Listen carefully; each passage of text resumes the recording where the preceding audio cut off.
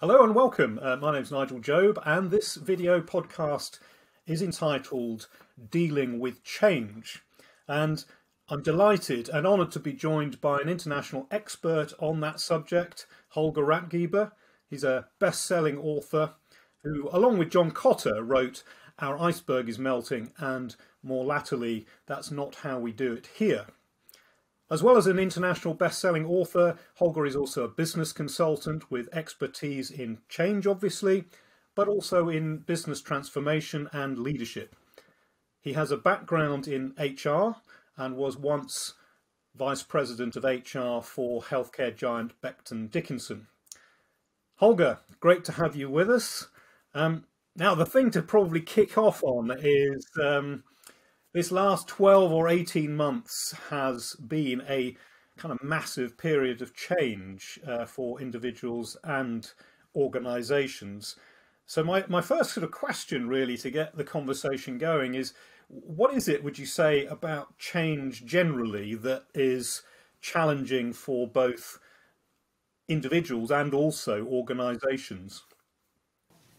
Well, that's that's a big one, Nigel, and um, and what makes it worse is that generalizations generally don't work well.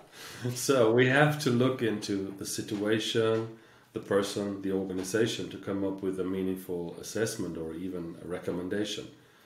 But yet, um, if you look at everybody who is in that time, I mean, uh, it has been amplified by the whole COVID uh, situation there, but changes all over around you, and it's it's it's meant there to stay. It's not going away. So don't fool yourself. Like, oh, it will. Maybe you know, things will go back to normal. Normal is over. Hmm. So there are two things that are more that are really important on that one. Is everybody talks about change but there's also something that I, I want to use this opportunity talking to you that we have to start to be aware, conscious, uh, which is what is is worth to be preserved. Mm-hmm. We're all crazy about change, change, change. But if we give up the things that we are actually relying on, the core, we're not serving we're not served well. So in these crazy times when everybody talks about change it's also a good question is what is it worth to fight for to preserve? But that's the one thing. The other part is that's generally true. So actually generalization works. Yeah yeah. Is when you ask people about kind of what what's going on in their lives and what they should do about it and you even do a facilitation job like I sometimes do, and you scribble on the flip chart, and you know after turning the page four times, here we go. That's the list of what we should do. No one can do should do lists. No one. It's impossible. So, unless we understand the dynamics, and that's what we have wrote in the Penguin books about the process of change right? These smart penguins, and without actually really knowing, uh, they went through what we call the eight process, the eight steps of change, or eight accelerators of change. Unless you understand that there's a natural sequence, a pattern, you're exhausting yourself. Because you do all sorts of things. A little bit here, a little bit there, a little bit there. And it, it doesn't help you. It just exhausts you. Um, so that's what actually uh, is very important. We need is that, is that pattern with is that pattern with change? Is that you know obviously you know at the moment you know as this is being recorded, we're still in the problem of the pandemic. You know, is that change kind of following a pattern which is the same for all change, like a recession, or, or you know, so I'm talking about things which happen to because often they're things that happen to people, aren't they? That's how people see change very often. It's something that's happened to me. Would I be right in that? Nigel, the point is okay. Um, this pandemic is out there, and you can do you as individual is actually very little you can do about it except coping with it yourself and with the, lo- the ones you love. And that's a different strategy than if you're in a business and you have a threat or an opportunity with a competition or a technology or whatever. That's very different because your circle of uh, of where you have influence is much larger, right? I mean, I, it took me six months to get even a bloody vaccination date, and I could do nothing about it because probably I didn't know the right people. But whatever, there was little I could do about it except on coping with it and and going back to the old Stoic wisdom around, you know, change what you can control, da da, and accept what you can't change and know the difference. So in that sense, that example is difficult to judge because there's there's only so many things we can do, but on an individual base, you you could clearly see some people taking charge, you know, changing things, adapting things about homeschooling, da da da, home office, and others were just in the whining and moaning and whatever, like how hard life is. Um, but that's an attitude. Hmm. Okay. Um, that has nothing to do with the true process of change. But what you could sense is when, when it dawned on people, this is kind of serious stuff. When we when the Italian pictures hit us, you know, this is not just fantasy. That's serious stuff. It drove some behaviors. Um, but again, it's it's not a perfect example. That's what I'm saying. And what about for those, and this, of course, sadly may be the case for people that are affected. I mean, you know, it might be a result of the of the crisis, and those people who find themselves obviously made redundant, as we say in the UK, or or, or out of work. Um, you know, what what's perhaps the best way for those people would you recommend? It's really tough. I mean, you, you and I have been through that little that little thing, you know, the the circle of control. What can you control? I mean, you can control what you allow your brain to think. Mm. So it's very strange, but you can control that. It's how, how, do you how do you sort of say you know individuals can you know see it positive perhaps? If you go in the morning, if you go in front of the the mirror, and you put a toothbrush in your mouth, you can basically say, "I'm fucking awesome. I'm awesome. I'm really good."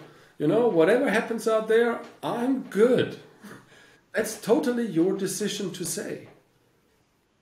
And if it doesn't work instantly, meaning uh, your brain fires back and says, well, you're probably not so awesome, you screwed up this, and you screwed up that, and, and actually you dropped out of whatever, you know what? Then say it a hundred more times until your brain capitulates and accepts that you are fucking awesome. And that's the number one thing. That's the only thing that you can do. See, there's nothing I can help people with who exist in a state of a lack of confidence. Because the universe will not serve them, they will not come up with the right things, or they will not follow through with whatever they say they will do. It starts there. Mm. Just there. And it's not a god-given thing. It's some for some people it's given. Other people just have to go in front of the mirror and say it a hundred times. Until they the brain gives up and say i believe you. Come on stop talking about me like this. Ah yes you're awesome and then move on yes the power of repetition of actually saying i mean I, i've i've read this i don't know how true it is in psychology but if you are you know if you're able to keep repeating what you will do and what you are, then you will become it. And uh, you know there are some people who kind of a bit skeptical about that, but I think there, there's definitely some truth in it. You're kind of almost tricking the brain into looking for the opportunities to endorse what you're saying, aren't you? Exactly. Uh, you're tricking it, and you focus. Suddenly, you start to see opportunities that you haven't noticed before in your pessimistic or cynical or whatever mode, or your I'm not good stuff. You're not seeing them; they are there, but you have you you're ignoring them, or not, or you basically uh, walk away from them. So, I mean, that's the one thing we can hammer that for another two hours, but fundamentally, work on confidence first. Now that has a caveat, Nigel, because I work with a lot of executives. And with executive, actually, it's a different story. Because they are only half as smart, attractive, intelligent, like anybody around them wants to tell them that they are. So they have to practice humbleness. Yeah, yeah. Which is the sister virtue of confidence. That's a total different story. That's why I'm saying these generalizations are hard, are difficult to make without looking in the in the situation. But more often than not, if people are very high up in the organization, their task is to to learn the sister virtue of humbleness. Mm. And I know that you know what I'm talking about in your job. Absolutely, yeah. And uh, I think that, uh, well, I mean, if I'm looking at uh, individuals, either when we've been doing a search and you come across an individual who's got, you know, what would appear to be a perfect profile, um, there are many that have uh, essentially discounted themselves by a lack of humility, particularly for certain cultures and certain organizations. And I would say generally, the more professional an organization, if that's not too trite a word, the more professional the organization, the higher the expectation that individual knows the difference between confidence and overconfidence, and I, and I think that's that's really important. And that can be really difficult for people if they have lost their job, and and as you say, particularly maybe somebody who's been in a senior role for a long time and uh, and they lose their position and all of a sudden almost their you know their their life is pulled out from underneath them because that's the thing that occupies most of their time so um, so yeah there's a kind of a yin and a yang to that which is kind of neat isn't it there's that kind of telling yourself you're awesome but also telling yourself that actually you need to believe internally that you're awesome, but you also need to come across with a certain amount of humility. I think is, is perhaps the message there. Well, and again, it starts wherever you start from. You know, um, I mean the the I'm awesome thing is for actually it's actually for the majority of people. Um, but but the other part is I'm only human and or I'm a contribution to something is another part that some people have to learn as well, right? Not to be driven away. But probably one thing, Nigel, I wanna I wanna connect with was the long lists, you know, which I find the long list of things that we should do now as we are in the process of change, and you know, a lot of people don't are not inclined to play the script that we have so carefully written. Why the hell are they not doing what we are, what we wrote for them in the book? You know, mm. and uh, whatever comes in there. Um, that's actually uh, something that that is at the root of the penguin story because uh, we we very often find that um, life has not prepared people to to cope with that amount of you know dynam- uh, dynamic activity. And very often they go back to actually what they've learned meaning planning change management stuff and da, da, and they're missing the point. They're creating too long lists of things they should do. And john's work is amazing in the sense that it mapped out the pattern of how successful transformation happened. And and, and still happen. And it has a sequence, meaning I don't have to do everything. I, I focus on two or three things. I need, I mean, I need to drive in a sense of urgency, or as an executive, you, you know, you go to a team and said, you know, uh, I really count on you and uh, wish you good luck. That's not what they say, and then they leave the room. That's not what they say, but that's actually what they mean.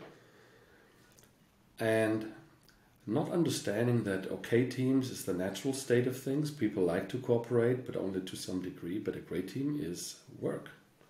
You need to do you need to put in the work to have it. And most fundamentally what i often find in my practice nigel is that people skip the sense of urgency. Mm-hmm. they just think somehow it will happen sometimes you know. Once we have this wonderful vision mission blah blah blah uh, people will line up for it. Very often not. very often not. Um, so, uh, and once you understand that, you can you can narrow down what you need to focus on, and then your list becomes very powerful. And that's what they do, what our penguins do. So.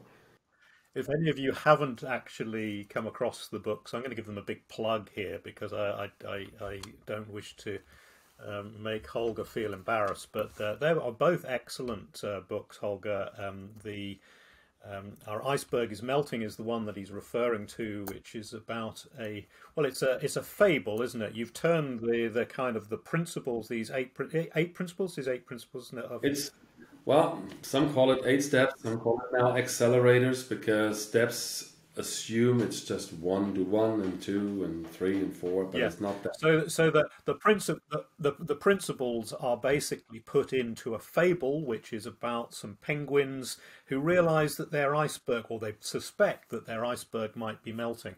So, I'm not going to spoil the story. takes a, probably some of us a little bit of a, a a while to get your head round talking penguins, and and then later t- talking meerkats in the that's not how we do it here um, I, think, I, think, you can even see a uh, you can see one sitting up now. That is that's yeah, your. Yeah. Uh, Oh, that, well, that's, that's the penguin nice. up there. Um, that's the penguin, and that's the meerkats. Ah, excellent. Okay, so there they are.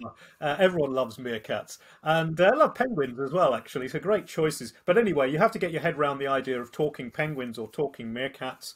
But it's a really clever delivery on what could actually be, you know, for the non-academic type of, you know, practical-minded person, It could be quite a dry subject. But in actual fact, um, these uh, these fables um, that um, Holger and John put together have, uh, have, really enabled you to read that really quite quickly. And one of the other things I think I mentioned this to you before, Holger, that I like about them is the fact that you can they don't take that long to read, and a lot of business books, you know, you almost kind of feel, oh, I, have I can spin through that bit because I've already got the message, kind of thing. So yeah, so they they are great. So very quickly, um, you know, what would you say, um, Holger, in terms of you know the the key message from those the, the the thing that you think i mean it's diff- probably difficult to pick out one key message but what would you say to somebody let, us think about somebody that i referred to earlier and some of the people that are watching or listening to this may be in this position. What would you say the key message of those books would be to somebody who sadly finds themselves you know without a job at the moment and they've got they've got to turn things around for them? I mean um intentionally or not, um, the penguin colony facing this threat and eventually turning it into an opportunity because no one actually wants to read a story where penguins sink and die at the end of the story into, into the water, blaming each other for what they've not done. So no one wants to read and needs that story. So it has a happy end. Okay, um, party spoiler, but but that's okay. I thought about your question actually quite a lot, and uh, it sounds. I'm almost ashamed it sounds so simple, but you can't do it alone, is the core message of the Penguins. Mm. Number one, meaning we have very different characters. We don't have a, a perfect hero figure, you know. Okay, I'm not going into detail, but fundamentally, um, if you want to impact the lives of others, be it humans or penguins, uh, don't go out there alone.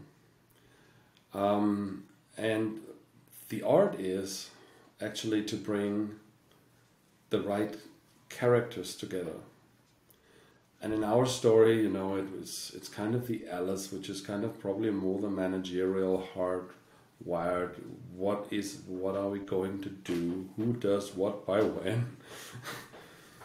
And a buddy who actually um, is mostly concerned how anybody feels like how are you nigel? You know that's my mind that's the, the that's the logic that's the question that his brain produces all the time. How are you? Mm. somebody else out there. And you got a Louis who probably asked the question where are we going from here? You know together not falling apart, you know, and and being worried about and uh, being worried about that question in a sense. But anyway, I think the penguin story is about you can't do it alone. Appreciate what you have around you. uh, work through the difference, but follow the process. There's a process in the story. Um, how to move a colony from being almost complacent, you know. We've been living here 400 years, so plus. What the hell are you talking about? There's little fissures here and there. No, it's just seasonal, no problem. We'll get over it. So you that's what you're dealing with. Yeah, and that's almost it. You know, like uh, that's a it's a global message, isn't it? I mean, I'm sure at the time you wrote it, you probably didn't realise, in a sense, how prescient that was. We didn't, but we had we had uh, six, eight year old kids writing us that that's their favorite book about climate change. Excellent. There's one more thing, but I need to answer. I need to answer the second part of your question: is what's the one idea in the meerkats? And uh, that's not how we do it here. And um, and it has to do with um, with understanding the difference between management and leadership. Mm. Sounds abstract, but in reality, um, it's about what are you doing every day. Are you basically giving your energy into activities that are um, making the clan, the Meerkat clan, operate reliably and more or less efficiently, which has a certain set of activities or and or are you uh, putting your act your energy into um, capturing a big opportunity and crisis you know like always in our stories? Actually this is funny i thought about it. Someone asked me why does you do your stories always as begin with a crisis? And said well because most of the time changes begin with a crisis I'd wish it starts with a big a, a person waking up with a big vision but more often than not, it starts with a crisis. So that's why we have we have we started our story with a crisis. So um, so it's about management and leadership and how both are important and uh, both needed and how they work in a way together. So that's the second story. Yeah, very good. Well, that's fantastic, Holger. Thank you very much. Um, I'm going to do a, a, a, quick summary of some of the um, points that that Holger's made because I think there are um, there are definitely some really good messages in this this short uh, discussion that we've had, um, which I think are really uh, really important. Whether you are an individual um, who is experiencing change, or maybe you're a leader um, in um, you know general leadership, uh, general management, or, or perhaps HR. There's a number of key messages I think that you can you can take from this. Um, I love one of the points that Holger made, which I've had a long belief in myself, which is change what you can control and accept what you cannot change. And I think that's a really, really key message. And the other message, and this is particularly for those people who've been having a pretty tough time, and there are, you know, a lot of people who've been having a tough time, whether it's because of the pandemic or whether it's because of something else. This thing about I'm awesome, you know, it, it repeat it to yourself but temper it with a bit of humility if you um, if you if you get a little bit ahead of yourself. So uh, say it a hundred times. In fact, uh, uh, Holger suggested so a hundred times. I think I'm going to try that and um, and, and see what happens. So. Um, and then work on your confidence you know that that is going to be a really important way of managing yourself out of you know holger just referred at the end there to change starts very often with a crisis so accept that. The, the, the, the change that you're going to have could be a really positive thing, even though it probably doesn't feel like it right now. So the, the crisis, whatever it is you're experiencing, will drive a change could that could well be a really positive thing for you have a sense of urgency and the follow the process i think is a, is another really good message and but the one that I think that really jumped out from all the things, all of the really good pieces of uh, of wisdom you've come out with, Holger, the thing I, I thought is better than all of them uh, is you can't do it alone. Uh, I, I think I think that message. Um, because so many of us, and, and, you know, people like myself who has a you know a, a smallish business, there's always that temptation to think, oh, I can do this, I'll do it alone, I'll make that decision, I'll be the great leader, etc. but in reality, you need people, and and from a uh, you know an organizational point of view, the the message from uh, not that's not how we do it here of that you know acceptance that you have management and you have leadership and people have to do a bit of both of those uh, but it's also about finding out you know you know where the, the people's strength is. But that ability to pull people together and so that even applies to those of you that have found yourself in the unfortunate position of you know being between jobs um, that you know it's best if you look to find assistance and help from you know people that you trust and love so that's the message, I think. Uh, fantastic. Thank you so much, Holger. Really appreciate it. it. Thanks, Nigel. It's been great as ever. It always is great to talk to you. And, uh, thank you so much. You, like always. Thank you. Thank you for viewing and or listening to this Remtech Talent Management podcast. Our guest was international best-selling author Holger Rathgeber, interviewed by myself, Nigel Job. If you'd like to discuss further, please contact us via our LinkedIn accounts. Holger's and John Kotter's books, Our Iceberg is Melting, and That's Not How We Do It Here, can be found on Amazon and at all good booksellers. I hope you enjoy them. I certainly did. Have a great day.